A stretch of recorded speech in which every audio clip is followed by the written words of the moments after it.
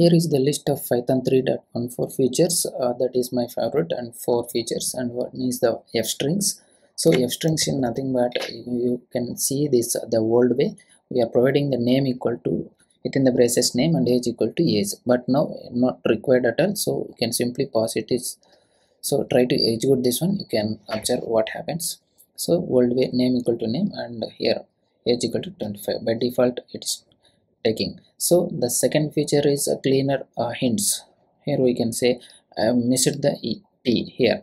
If you see this so print is not defined. Did you mean print? It is giving the cleaner message and you can comment this one and try to execute this one. You will get one more error message. Name y is not defined. This cleaner messages you are getting. Okay now you can all this one also you can comment it and you can try to check this is the correct version. And few more features are there. If you can see this template versions. So here is the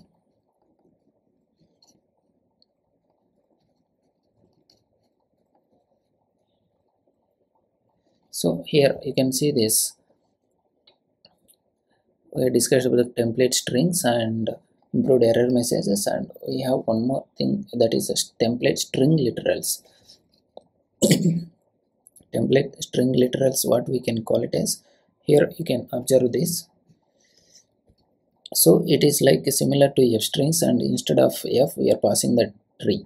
So you can take this. Here we can observe this. So template class defines the content of template string. It is immutable string and most common way to create a template instance is creating the string literal syntax using the string literal itself. And now this is uh, stored the sequential of literal strings and dynamic interpolations. Okay this is the two examples of this and one more what we call it as. So finally the allow except and except expressions.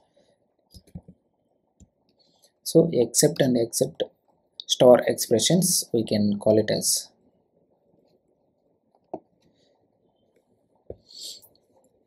You can see this except and except star expressions. So it is uh, like uh, we are omitting the brackets here and simply if we have multiple uh, error messages we can take it as a single statement and we can pass it is. That is the important features of 3.14 and if you have any comments you can check out below. Give a thumbs up and uh, subscribe for more tips